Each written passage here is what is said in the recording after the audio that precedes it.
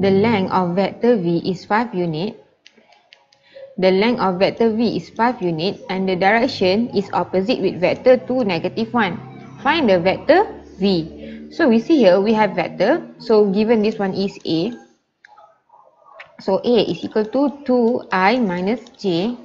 So you see here, if we change it to unit vector, then we can multiply with 5 later on. So unit vector so A unit vector is equal to 2i minus j divided by magnitude of 2i minus j. So 2i minus j is equal to third x square is 2 square plus 1 square. So we get 4 plus 1 is 5. Set 5.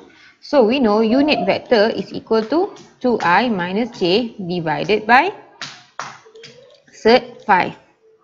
So we know that vector v is opposite with this vector. So which means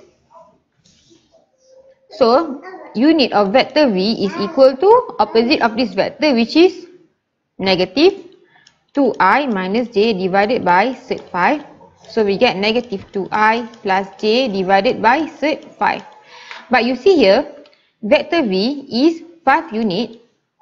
So which is equal to 5 times negative 2i plus j divided by set 5. So here, I'm sorry, there's not enough space.